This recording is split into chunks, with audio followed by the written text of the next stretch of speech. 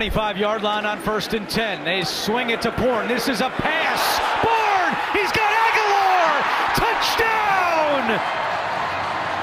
We saw that play in practice on Friday. That is the first career pass attempt for Kendrick Bourne, and it goes for a touchdown.